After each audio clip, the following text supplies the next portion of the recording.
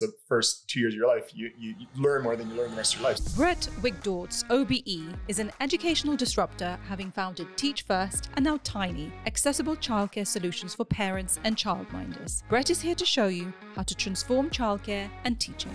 Children aren't these empty vessels. I thought secondary schools are where you make the biggest impact, you know, teenagers. I actually realized no, it's primary schools have a much bigger impact in the lives of children than secondary schools. My whole career focus has been on ensuring all children get access to an outstanding education education. It's a sector where you need a lot of adults and there's not a lot of money. Nurseries only pay um, minimum wage, sometimes less than minimum wage. Early years education is a proper professional skill. So you guys can be leaders helping children to a better future. It sometimes takes a new initiative or a spark or a new tech to change people's way of working. That's what I'm hoping we can do at Childminder. What do you think Tiney does better than anyone to create that kind of space for childminders? I mean, what I think we do really well Hello, my fellow leaders. Welcome back to Anatomy of a Leader with me, Maria Hvorostovsky. As you know, I'm tinkering away to bring Anatomy of a Leader live in a London location. So if you'd like to be the first to know when Anatomy of a Leader goes live, then click the link in the show notes to be added to the waitlist. This week, I speak with Brett Wigdortz, who, after founding his successful educational charity Teach First, realized that to make the most impact, education needs to start much earlier in a child's life. We talk about Teach First and Tiney, his latest startup, and why we need to see child minding as a genuine profession that needs to be compensated well. What I admire most about Brett is how passionate, driven, and committed he is to making a difference in all children's lives. So without further ado, here is Brett Wigdortz. Brett, welcome to Anatomy of a Leader. Thanks for having me. So nice to have you here. And uh, I know it's taken us a while to sit down and talk properly. So, you know, thank you for being patient. yeah, I know. Thanks for thanks for having me in this rainy day. Yeah, wonderful English. Yeah. Uh, well, Brett, for those people who don't know you, can you give like a two minute introduction, who you are, and what you're doing with your business? Yeah, sure. Um, so I would say my whole career focus has been on ensuring all children get access to an outstanding education. That's what I get very passionate about. That every child out there has great ability, but we still live in a society, both in the UK and globally, where many children uh, don't get access to the education they need to make the most out of what they're capable of, and I think that's a huge, huge crime. Um, so I was a management. I'm originally from America. I was a management consultant for a while. I started this charity, Teach First, in 2002 and the whole idea of Teach First was to get additional outstanding teachers into low income schools and build a whole leadership cohort around this mission of ensuring all children have access to an outstanding education. Um, I ran that for 15 years and grew it to be the largest graduate recruiter in the UK. So I think we've now recruited about 20,000 teachers in England and a whole wonderful group of entrepreneurial um, organizations have flowed from that, whether, you know, uh, things helping social work, things helping uh, policing, things helping um, all sorts of other educational areas. Lots of head teachers. There's been a lot that has come from that. Uh, I co-founded this thing, Teach for All, which is this global network, and I spent a lot of time now in about like 30 or 40 countries around the world helping get similar models in places like India, um, Germany, Australia, Chile, Lebanon, Israel, um, all over the all over the world. Um, which has been really exciting to build these cohorts of amazing leaders who are really focused on the needs of low income kids. Um, and then about five years ago, um, I uh, founded Tiney, and that's what I'm working on now. Tiney really led from this whole idea I saw over the last 20 years that if you want to help children get access to a great education, you have to start as early as possible. And how early? Um, well, I mean, you could say from the moment they're born, yeah. or even before they're born. I think some people would say, um, like listening to, like playing Mozart to the pregnant belly, and um, yeah, yeah, yeah. I mean, you know, and I think there's so much of it. You know, brain synapses and learning happens so young. I mean, more and more, there's more and more evidence uh, over the last 20 years that shows, you know, actually it's never too young. Actually, you know, mm-hmm. I mean, mm-hmm. children aren't these empty vessels. They're actually, they're learning at a very young age. Um, and it is really important for children to get access to a great early years education setting. I, I visited a lot of low income primary schools around the country, and you could see the kids in year one and two and three who didn't have access to that setting when they were younger and they really struggle in school in primary school and that then goes into secondary school and adulthood and um, you know if if policy was made in a logical manner more money would be spent on early years than on secondary schools because Mm-hmm. actually early years is even more important, you know, to get right. Mm. And I think very few countries really see that for all sorts of reasons. So yeah.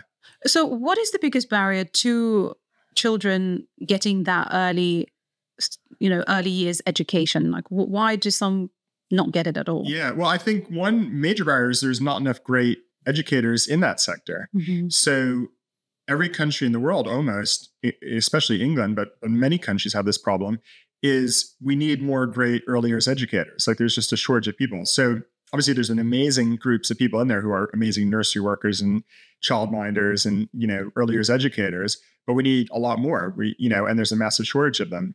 It's often the parents from wealthier backgrounds who get access to good early years Mhm. care for their kids, while the children who actually probably need it the most struggle to get that. And that's Mm. true, you know, globally. So, is it to do with cost as well?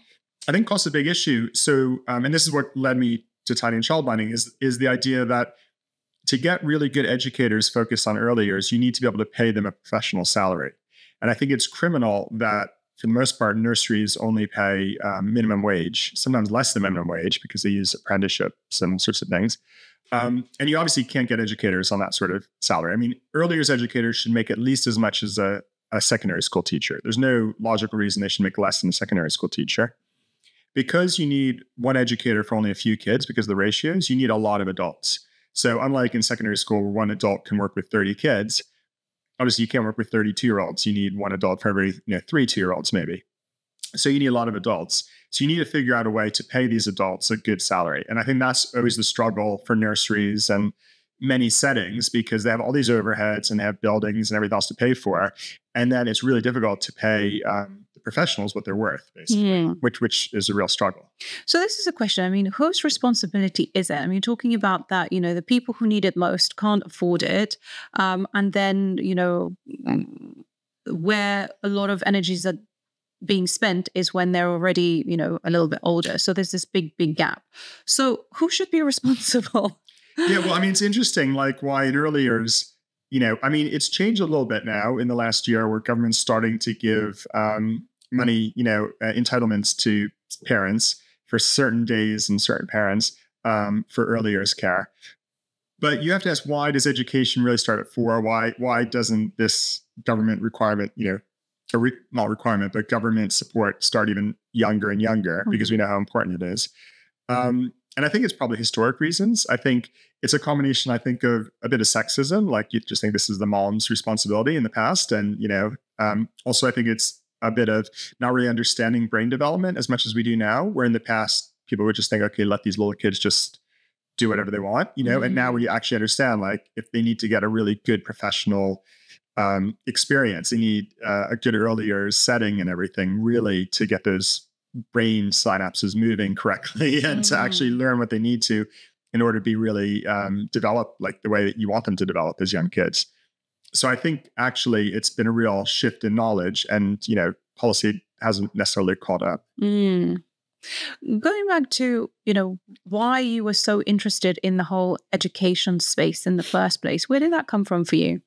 Well, my mom's a teacher and my brother's a teacher, and um, almost all my aunts and uncles and cousins are teachers. I basically come from a whole family of teachers. There's a Um, lot of role models. a lot of role models. Mhm. And I think where it came to me when I was working as a management consultant, I got on a project looking at how businesses could help education in London. And in 2002, uh, schools in London were, were not very good, and in England, I'd say. Um, I think for all the problems people talk about in the country, all these public policy issues, I do think education has gotten a lot better in the last 20 years. And sometimes we don't celebrate it. That, you know, England now does have a pretty good education system globally. And London, especially, is one of the top ranked big cities in the world, actually, Mhm. for education. Um, and that's been a total change. But I think 20 years ago, or 22 years ago, I would visit a number of schools in London, and it was just shocking how bad they were. Um, how many schools where kids were just kind of being housed. It felt like there was no purpose for it. There was no, um, there was no like, the educators there didn't really have goals for the kid. Like they were just sort of Mm-hmm. trying to keep them off the street. Mhm. And you thought, okay, these were kids who have amazing potential. They could do so much, but they're being let down by the system. Mhm. And that really struck me as like this real tragedy. And I think basically a civil rights issue that, you know, you have a Mhm. whole groups of children who are being let down and then into adulthood.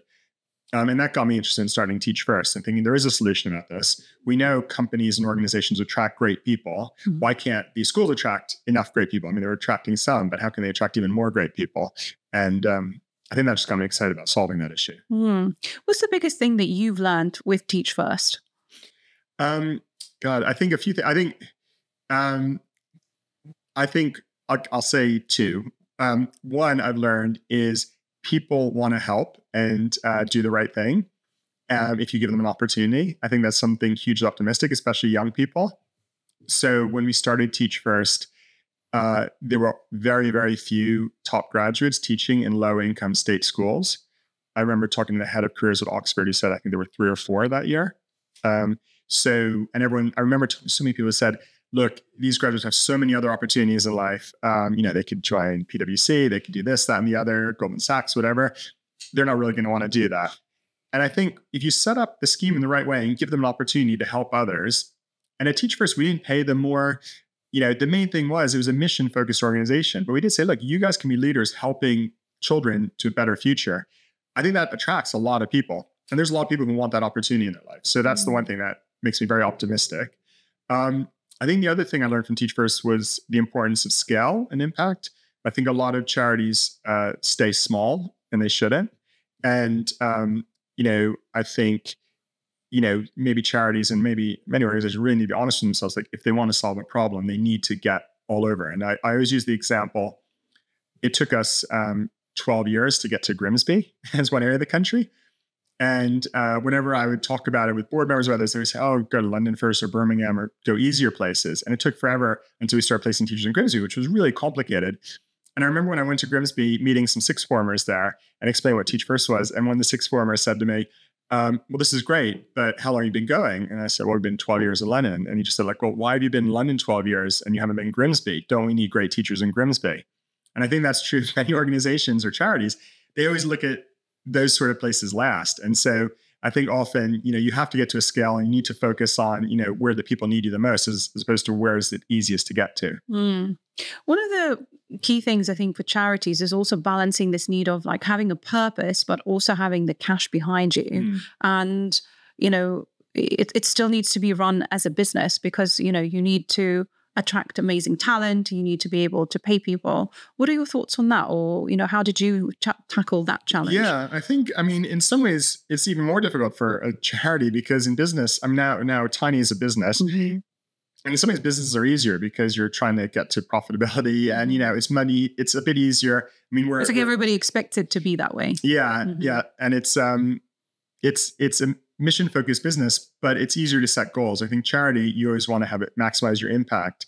And so you spend a lot of time really determining what is that impact, how do you maximize it, and everything. Um, but I think there is something around that that um, some charities are just very comfortable staying relatively small because growing is complicated and difficult and not easy. Mm-hmm. Um, and I often say, when you're a charity, try to have someone on the board who is that like child in Grimsby because someone should be sitting there saying, "Why are you helping us?" Um, because I think um, you know something should really be pushing charities to get bigger and to even you know help more people if what they're doing is successful, mm-hmm. basically. Mm-hmm. But it is really hard, you know. You, and I think the other thing we did Teach First is we tried to find a funding model that worked um, with some philanthropy, some government, some fees for services, and you try to balance that funding model. It's definitely gotten more difficult for charities the last few years, I'd mm-hmm. say. Why has it got harder for charities? I mean, government, I think, um, you know, has stopped funding things. I just saw mm-hmm. last week they were providing support for Teach Now, which was something that was it was, it was a bit of a spinoff of Teach First, which was to help um, mid-career um, individuals into teaching. It was started by Lucy Kellaway from the FT. And, uh, and I think it was like one and a half million pounds a year, and it was having this amazing impact. Um, it just seemed a no-brainer, and the government just cut that off. Or I mean, I've seen government make some bad decisions, um, I think, um, yeah, I think it's just it's a more difficult environment. Just also, you know, as opposed to maybe ten years ago, where it was much more of a growing economy mm. too. You mentioned that education system has got better, uh, particularly in the UK. In what way? I mean, there's lots of people kind of like slamming. It's like, oh, you know, schools mm. are no good. You know what you're te- being taught there. It's like it's not useful for for the future. In what way do you think the schools have improved? I mean, I guess to me, in the system, it seems totally self evident that they've improved. Um, every international ranking, it, I mean, you could pick one, which is PISA, which is which PISA is probably the gold standard ranking, which is done by the OECD, and uh, it looks at um, reading, um, science, and maths. And it uses, I, I, think, I mean, I've looked at this these tests before, and I've spoken to lots of people involved. I think it's a pretty good like test of reasoning and things.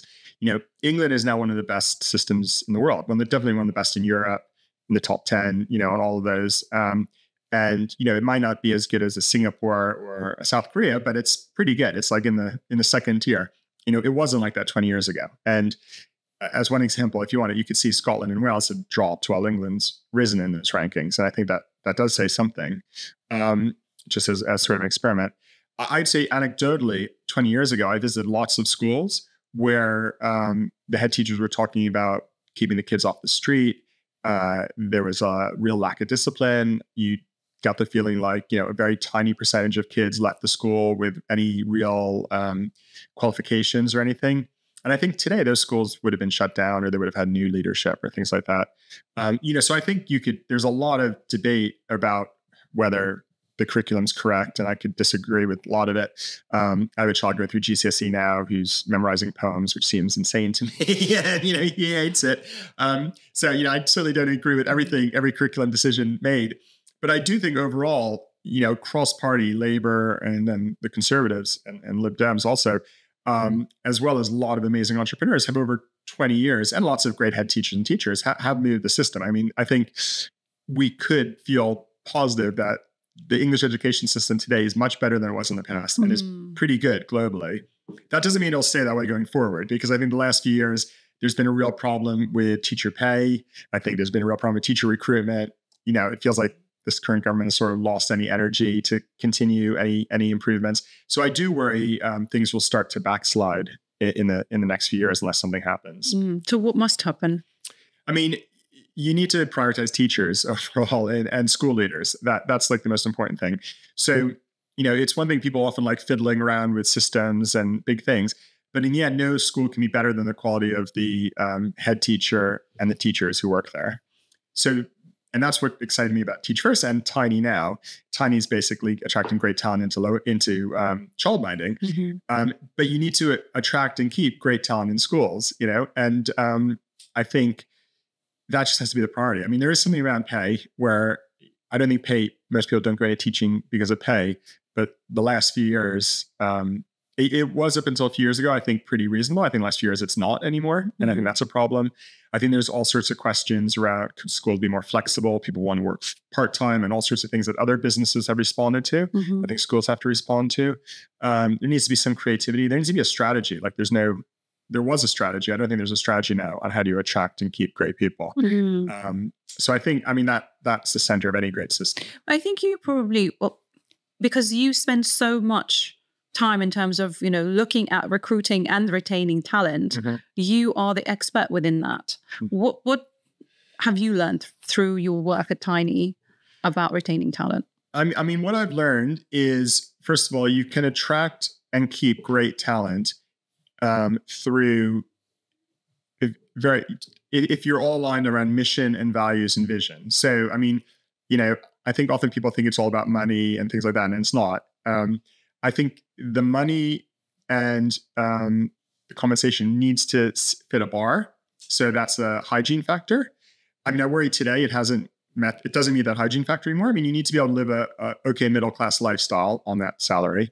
Um, but beyond that, there's a huge proportion of people in this country, top talent, you know, young people, older people, um, very talented individuals who, as long as they meet that bar, want to work somewhere that aligns with their values and life mission. Mm-hmm. And schools can do that very easily, actually. This is where schools have a massive advantage over most businesses or other organizations because when you're working for a school, you're a leader for young people. You're you're changing their lives. You go in and you're, you know, by definition, doing something good every day, um, helping people.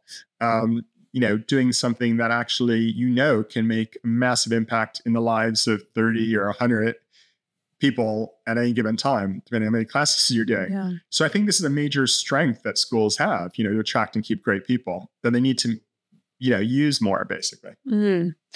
It's true. I mean, having something that is so it's like it's always you know what it says on the tin in terms of when it comes to schools because they already about inspiring the next generation and teaching the next generation so yeah. that completely makes sense with you know putting your entrepreneur hat back on and when you were looking at the idea of Tiney what was your process like then what were you looking for and how did that come about I mean, I had done Teach First for 15 years. And when we started Teach First, we were just focused on secondary schools. And then very quickly, I thought this was, and people say, well, was one of your biggest mistakes at Teach First. That was probably one of my biggest mistakes, was not early on also working with primary schools. Mm-hmm. Um, because I think early on, I thought secondary schools are where you make the biggest impact, you know, teenagers. And I actually realized, no, it's primary schools have a much bigger impact in the lives of children than secondary schools. And then working with secondary schools, I met with so many of our teachers who were telling me, look, I have these six year olds who don't know how to play. It's like, what are you talking about? And play. They were showing me like kids who don't know how to um, interact with others, who, you know, don't really communicate, like very basic stuff. And if they don't know how to play at age six or seven, you know, they're going to be a few years behind. And, you know, being able to do anything in school is going to be very difficult. And they're probably not going to catch up by the time they get to secondary school. And it's just going to continue on through their lives. Mm-hmm. And we know in your first two years, so much of brain development happens. I think you it's the first two years of your life. You, you, you learn more than you learn the rest of your life. So you're not learning stuff then. It's going to be very difficult to catch up. And that got me very excited about early years. And I thought, okay, what's happening in early years to help more kids access outstanding early years um, education? And every country I visited with Teach for All, I saw the same thing where there's a massive shortage of early years care. So this is a global problem. I don't think almost any country in the world has it right where they have enough earlier um, educators. And when I looked into that problem, I started thinking, well, look, we know there's lots of people out there who love working with small kids. Um, like this isn't a job that you know people hate. Like it's not. I'm just trying. I don't want to don't want to pick on any job, but think about what is what's a job that would you find very boring or you'd hate or you know working with small kids is a delightful, fun job if mm-hmm. if if you like working with small kids, mm-hmm. which many people do. I mean, so people... you find it very quickly if it's not for you. exactly. yeah. I think it's one or the other. Either, yeah. either you find small kids really not a lot of fun to be around. Yeah.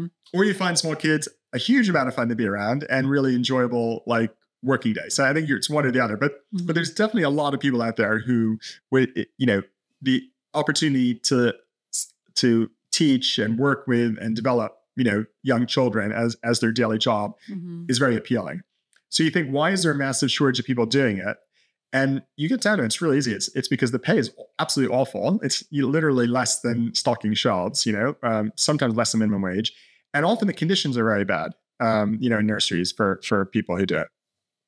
So that's just going to be thinking: is there a way to use technology to change that situation, where you could allow early years educators to earn a professional salary and the first thing I thought is these people need to earn at least what a teacher earns. You know, I think there's no. So how do they earn what a teacher earns or more? And how do they have better um, conditions for themselves and more flexible, like modern working environment? So I get very excited about childminders. And childminders are they're different from nannies. They're um, um, registered, licensed individuals who follow the early years curriculum, um, are um, you know have to get inspected regularly have do all the safeguarding um, you know and actually um, but do it from their home basically. So take care of a small number of children in their home. Are eligible for all the government payment schemes and everything like that. Um, and the number of child childminders in england has been dropping and it's only about 10% the number of france. So france has 200000 childminders england has about 25000 childminders wow. And so i started thinking why are there so few childminders in england and why are the numbers dropping and what I got to, I, I spoke to probably about 100 childminders because to me, I thought this is the answer. Because if you're a childminder working with three or four children in your home, it's almost like an Airbnb, you know, versus working for a hotel like mm-hmm. minimum wage. You're using your home twice, you know, in a different way. Even if you're earning like seven pounds an hour per child, child, that's you know 28 pounds an hour, 21 pounds an hour that you're earning from these kids and minus expenses, you're in your house. So, I mean, once you get to over 20 pounds an hour, you're earning, you know, a, a salary similar to a teacher or professional salary. Um, and what I saw is the reason childminder numbers are dropping is because it didn't feel like there's anyone responsible for recruiting, supporting, helping childminders. Like I didn't see any organization or business really that put childminders front and center and said, we're all about childminders. You know, we're here to support you. We're here to run your business, um, to help you run your business. And talking to lots of childminders, what I saw was there's lots of people out there who are very, very talented at working with small kids. You know, amazing, um, but not at running a business. Basically, Yeah. like, it's a totally different Yeah. skill set. Yeah. Like doing their taxes, figuring out contracts, negotiating with parents. Um, you know, doing all the paperwork on early years foundation stage curriculum. Like that was one thing where it's a totally different skill set. And then a lot of childminders were also telling me they were feeling very lonely and isolated and not part of a proper community, um, you know, professional community. So I think those are the things we've been trying to solve with it. And the thought was, could we use technology to solve for that? Could we use technology to help people run their business in a, in a very easy way? You know, just people were very good with kids, but maybe not good at running a business or, or that's not their top skill. And could we use technology to help them feel part of a real active community that's Mhm. supporting each other constantly? So, you know, they're working with their kids and but they're also working with other adults and others. Um, and that that's what we've been trying to do with time. Mm. I suppose it's a problem with a lot of freelancers, regardless of whatever space. Like if you're, you know, you've been working within a big organization, you're like, you know what, I can just go off and do that by Yeah. myself. And then you realize that whilst you're very good at the job itself, all the other stuff, like all of the admin, like really like bogs you down. Yeah. And you have to be like a jack of all trades. And that you're applying that to kind of like the childminder community. What's been your biggest challenge within the business? Um, I mean, COVID was a massive challenge. So Yeah, I mean, for that was a lot of sure. Yeah. Um, so we raised um, a big round in uh, January 2020, and um, and we're really excited. We hired a bunch of people. wow, that's like just Yeah. before. So the good thing is the the money came at the right time. Uh, the bad thing was um, basically we then had about two years where it was very difficult to open child minding settings, and many of our settings had to close. Where they had we had these pingdemics, if everyone remembers, which everyone tries to forget, where you know if you or one of the kids or one of their parents came in contact with someone with COVID, then that has shut down the whole setting. Oh yes. So we had two years where, um, you know, I think we all thought it would be a bit of a shorter crisis. We didn't think it would be going on for two years. Um, if if we had known it was going to be two years, we probably would have cut our burn a lot more Yeah. and um, and you know held back on some stuff. But sorry, um, we spent we spent a lot of that time building our our tech products. So that's been our main focus. So we have a very unique um, product to help people run these businesses. But we also tried to grow number of and it was a real failure like those two years. We just couldn't because every time we were trying to open child minding settings or helping people open them, they then had to shut a week later. I remember those times because my kids were very small during that period. Yeah. And I think I must have like blocked it out or like phased it out of my memory Yeah. because it was just so stressful.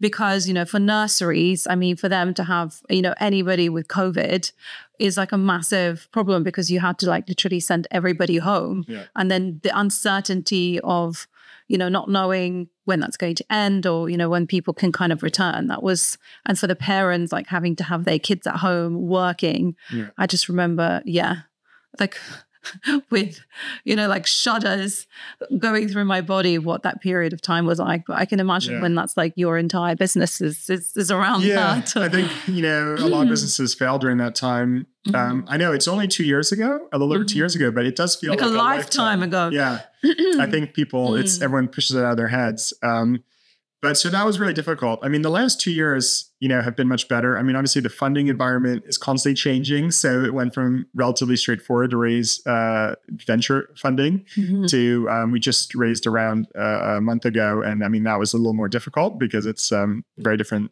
time period now. For sure. Um, um, and I think uh, probably the other thing that's always difficult is just working with government, who, um, you know, I think it's just sometimes very difficult because they um, make these big decisions without really talking to anyone in the sector. And, um, you know, I don't feel they're fantastic often at working with the sector or building a sector. so, what do you need the governments to do? I mean, what's interesting about earlier years is it's very um, highly regulated, which is in some ways good. I don't disagree with because these are small children. I think this is a good thing in England. England, they follow the early years foundation stage framework um, as part of the regulation, which actually globally is considered a very good framework. So I'm very much in favor of that. Safeguarding regulation is outstanding here. Um, so I think there's some excellent things in England that many other countries don't have as high a safeguarding framework and don't have as high um, like a sort of um, education framework um, as we do in England. Mhm. So, and these are some very positive things, I'd say. Um, I think on the other regulatory side, um, there's lots of just little regulations that you know add up without any thought behind them. Mm-hmm. And I think the difficulty is we're regulating our child minders, but we don't get any government support to do that while um, child minders are with the government, the government pays for basically. So that's part of the problem. I think, you know, there's certain things where they make a decision. So they're currently, the government's investing a few million pounds on a big marketing campaign currently to recruit more early years workers. And I said to them beforehand, I said, look, if you want to attract these people, why don't you just say to us and, you know, some of our sort of competitors like Koru Kids or, or nannies or others and say, look, um, we'll pay you X amount for everyone you recruit, you know, and then let us use our marketing. We know how to market these people. So, and they would have gotten, they said pay by delivery. So they didn't do that. And so they're spending millions on this marketing campaign. And all we're seeing is our Google ad search costs are like doubled, you know? And the people who are coming through the marketing campaign are the wrong people who are not, re- you know, not really interested in child minding, mm-hmm. being attracted for the wrong reasons or anything. So I think, you know, there's a number of organizations that are experts in this. Um, and, uh, it's just you know I think it's it's like difficult working with government sometimes. Yeah, for sure. How are you different to your competitors like Koru Kids, for example? Yeah, I mean, so what's interesting is there's not I'm I mean, there's not many companies in the space. Like, so I, I think my view is like the more the better because you know it's not like a problem where we're all competing against a shrinking market share. Like actually, there's incredible need for more early years care. So mm-hmm. I think you know we could have a few different organizations that grow massively and win. Um, you know, Koru Kids focuses on nannies, which is different. We focus on childminders. Um, and I think it's certain childminders, you know, are regulated, um, are eligible for all the government payment schemes, unlike nannies, like are eligible for these new um, uh, 30 free hours um, that the government's giving. Um, they um, have to follow the early years foundation stage framework and, and all of that. You know, so I think that's a different, like that's in, in childminders, which we're focused on, and nannies or, or au pairs. Um, yeah, so I think I mean, there's what's interesting though in the space is you'd expect to be more entrepreneurial companies in the earlier space. You know, there's only a few, I'd say. There's them and Bubble, which focuses on I think babysitters and um, I think au pairs and, and also maybe nannies. Um, why do you think there's such a gap? Like, why is this so yeah, few? I mean, I do wonder that, like sometimes, like because it's a massive sector. Um, I think it's a really complicated sector. I mean, mm. I just say like, you know, it is not easy. So we've spent five years now building this platform that has been with my two co-founders, um, who are very, very experienced um, CTO and Chief Product Officer, um, Ed Ed Reed and John Newbold, and their teams. And it is really like every problem we solve, we find another problem, and even how the government is paying in uh, some of these new uh, payments that they're doing through local authorities, which is very complicated. Um, so I think the problem is it's a sector that's very complicated. I think um, it's a sector where you need a lot of adults and there's not a lot of money. So that's the problem. That's why nurses probably pay so little.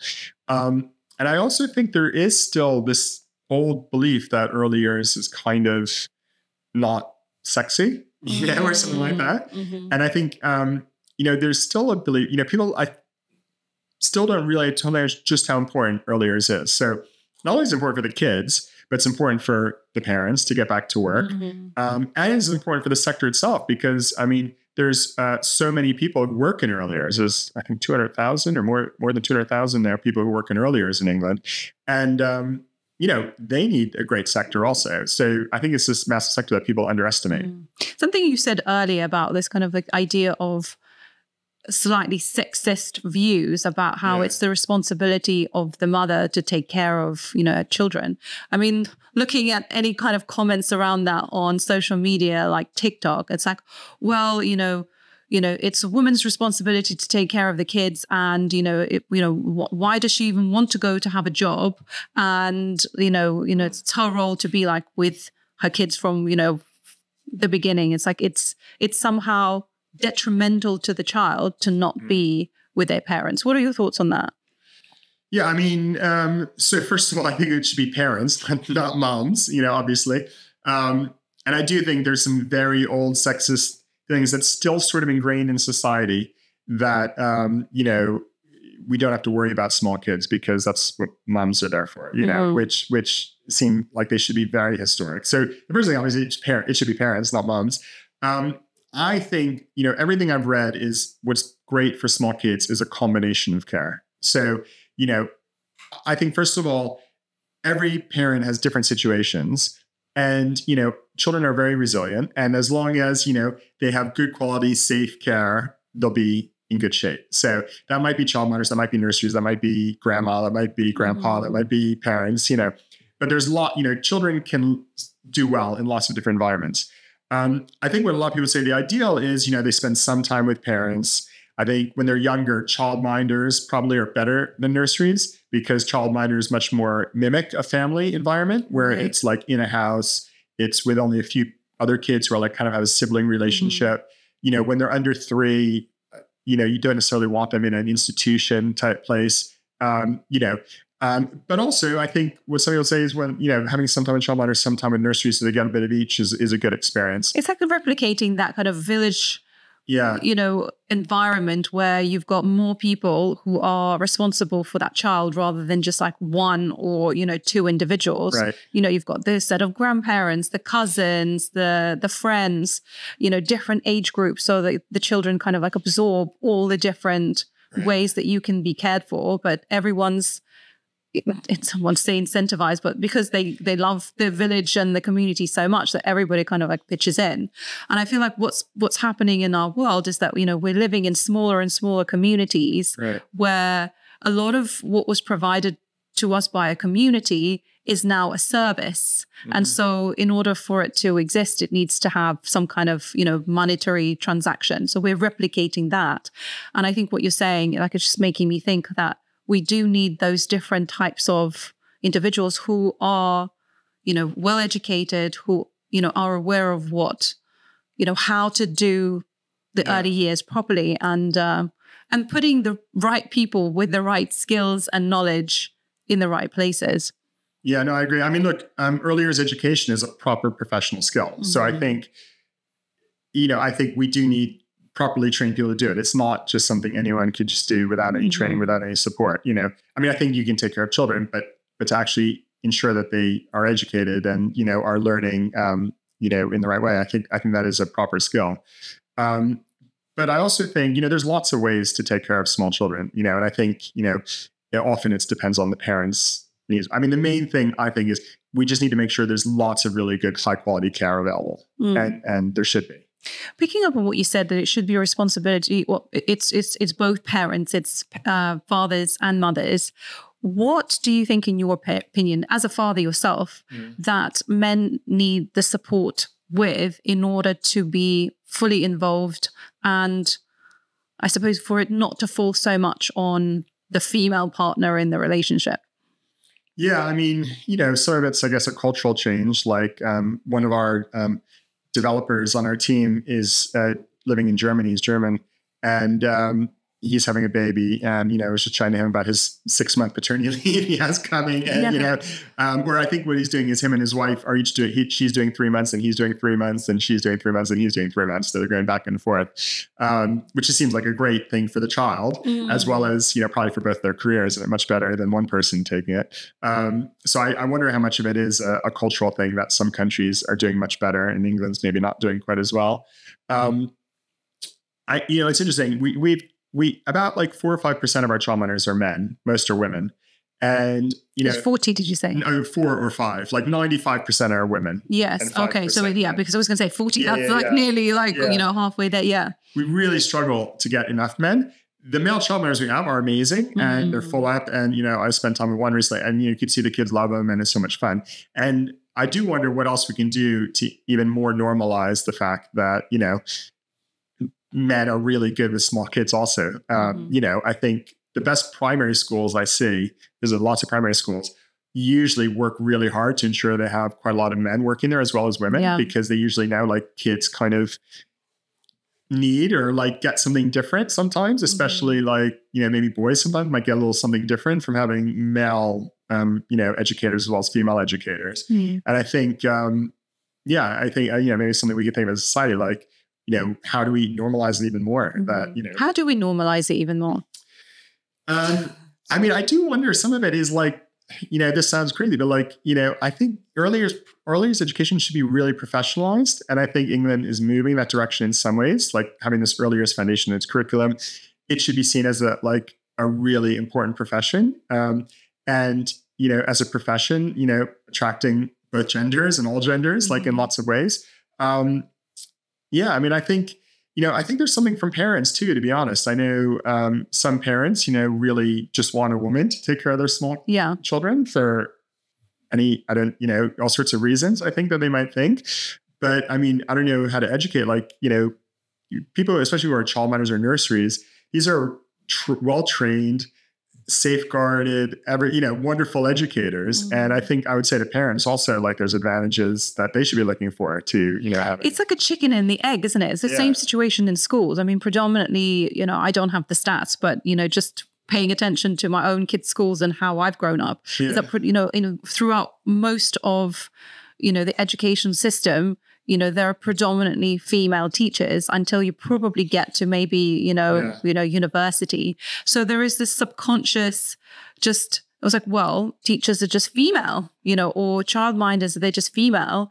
And so, you know, when you grow up and you haven't been in the childcare system yourself, you, it's like it's just in you. And you think, well, that's just the way it is. And I think, you know, for when it comes to making policies, if that's what your belief is, then it's going to be even harder to bring in more kind of like male teachers, male early educate, early years educators. Mm. And it's kind of like this, yeah, catch 22. No, I agree. No, I mean, I've seen s- some primary schools where you talk to the head teacher and the head teacher has a real strategy around it. Okay. So I would say the best head teachers like actually think this through. Mm. And I mean, I'm just thinking about one school um, where, you know, the head teacher works hard to get teaching assistants, for instance, who are men, and then helps them become teachers or has, you know, maybe some ex students from the school who are like 18, 19 year old, um, you know, who are in charge of like the sports in the schools or teaching assistants in different ways, uh, but like really works hard to like develop male teachers in their schools. Um, so I think it's like all HR issues, right? You need like Mhm. any diversity issue. Like sometimes if it's not happening, you need to really work hard and prioritize it as Yeah. an issue. Yeah, no, for sure. How do you see Tiney developing over the next few years? I mean, currently we're looking to really scale. I mean, so um, the last six months we've been about half of all new childminders in the country. But I keep on going back to the stat that France has 10x, 10 times as many childminders as England. So I feel like there's so much scaling we can do um, and, you know, support more and more childminders in the country. We're working with this new government um, um, entitlement where the government's putting a lot of money into early years, but there's not really the um, educators available to do it. Like they really focus on growing demand, Mm-hmm. but not the supply. So we're hoping to grow supply and really support our childminders. I mean, we're doing a lot of product development to make it easier for our childminders to work with the government payment schemes and even, you know, improve the support we're giving them even more. Um, we've started to talk like um, to uh, people in a few other countries because I think over time, um, you know, our product and this Tiney um, model could work in many other countries around the world. And I certainly, you know, from my time at Teach for All, have seen that this is a global issue. Um, but um, I think, you know, to me, there's no reason like why we can't attract some great people all over the place to to become childminders and and and work in this sort of system. Mm. What seems impossible to you now, but should you achieve that, will change the course of your business or your life? I mean, nothing ever seems impossible to me, which is probably because um, that's probably my strength and my weakness sometimes. so we started Teach First, I remember saying, no, I want this to be, you know, massive, be the biggest graduate recruiter in the country. And it was, you know, so we Teach First after it became bigger than PricewaterhouseCoopers, Deloitte, or any any other graduate recruiter. And I certainly think Tiney could do the same. So I think what what seems impossible to many people is I go back to the fact, why can't we have 100,000 plus childminders in this country?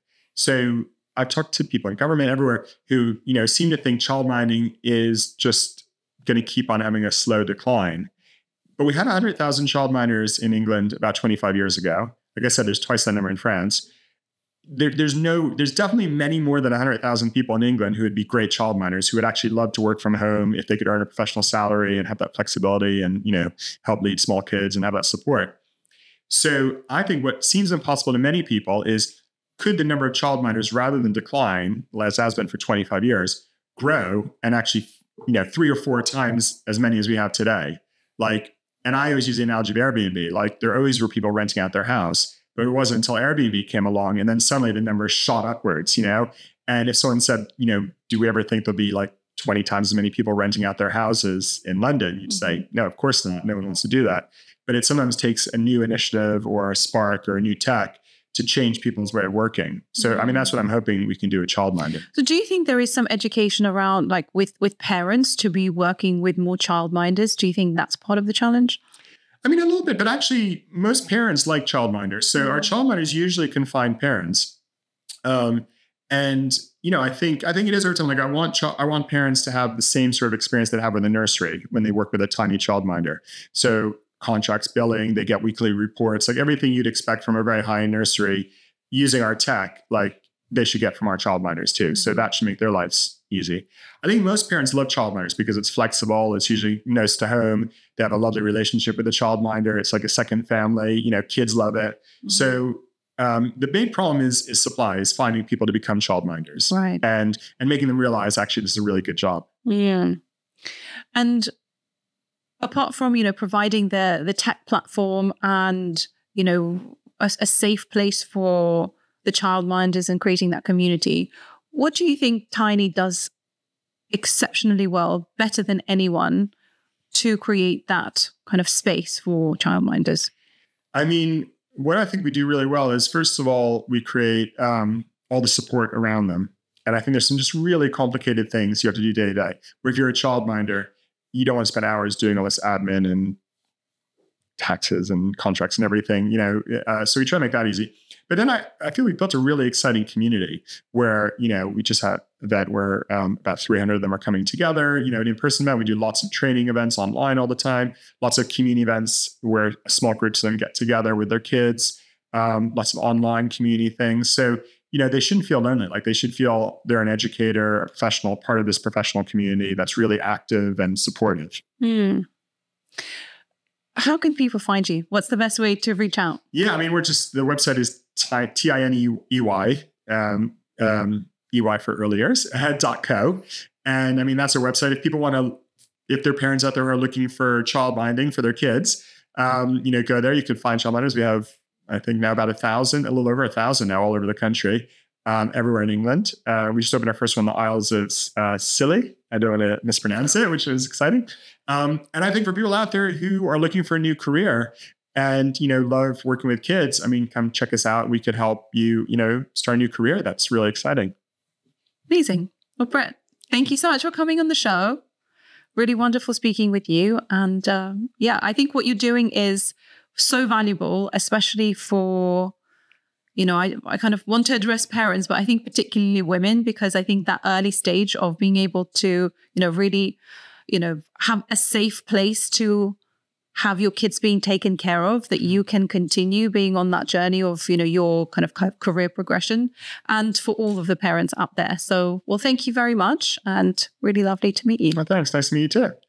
You've been listening to Anatomy of a Leader with me, Maria Hvorostovsky. Each week, I read some of the reviews that you leave on Apple Podcasts, and this week we have Jamie W0112.